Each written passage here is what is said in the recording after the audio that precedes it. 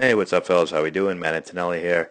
Today we're talking about bunting for hits and doing some work pregame to figure out what the field conditions are and, um, you know, if the field conditions are right for you to lay down a bunt for a hit or not.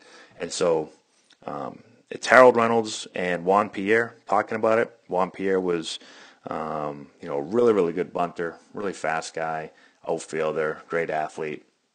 And so they're kind of talking about some of the things they look for pregame um, to determine if uh, they should bunt or not. And in this part, Harold's kind of talking about during the game and third base positioning. So he talks about, you know, he knows with his speed and bunting ability, if the third baseman is playing even with the bag, you know, that he's going to be able to bunt this ball for a hit. Okay. If he's playing behind the bag, then that's just a gimme. And he's going to almost just square around and just make sure that he has good direction. He bunts it out towards the third baseman because from that position he can't get it.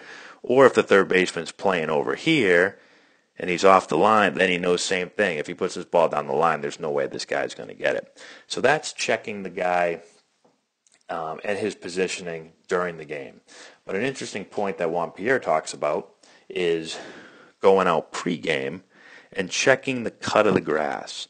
So as a third, as a bunter, you know, when you look up, at least when I used to bunt for hits and look out to the third baseman, right? Sometimes you can't always tell if he's, you know, right even with the bag or a step or two behind or a step or two in. It's sometimes tough to tell, right? Because you're not just going to stare down there at him. You have to kind of glance out of the corner of your eye. But what you usually can tell is, is the guy on the grass or is he not on the grass, right? That's easier to tell where his feet are.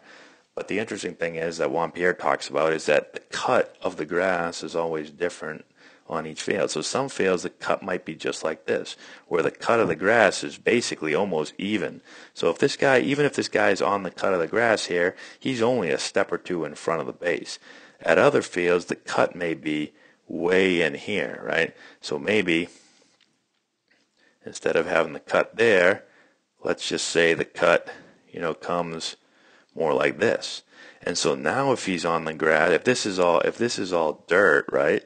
That's still dirt and he's on the grass, well, that's totally different, right? Because now he's another five, six, seven feet closer, maybe more, right? Or if he's, you know, if this is all, I wish I had some brown here. Let's say again, that's all red dirt right there, right? And now let's say that he's playing in here, but he's still on the dirt, right? But he's still close because of the cut of the grass. Okay, so you may look up and say, oh man, he's on the dirt. I can lay that down. And all of a sudden you lay it down and boom, the guy's an extra five, six, seven feet closer and you're out. So it's important to know what the cut is like. So what Juan Pierre talks about is he goes out there before the game and he goes and stands on the edge of the grass and he looks in and he measures, okay, how far is it away from the base and how far am I away from home plate? And now he has an idea for that field and that cut. Okay, if the guy's playing on the dirt, I think I can bunt it. You know, I know I can bunt it because this is the distance. If he's playing the grass, I either know I can bunt it or I can't. And it's going to change in every field. So really, really important.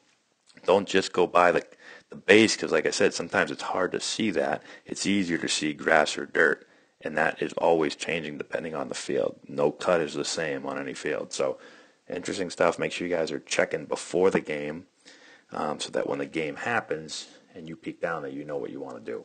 So, hopefully that makes sense to you guys. Let me know if you guys have done this before um, in the comment section below or if this is totally new to you guys. Subscribe to the channel if you've not done so already. Give us a thumbs up. I'd appreciate that. Share a video with all your friends. Check out our Instagram, Antonelli Baseball, our Twitter feed, Antonelli9. We're posting videos all the time for you guys.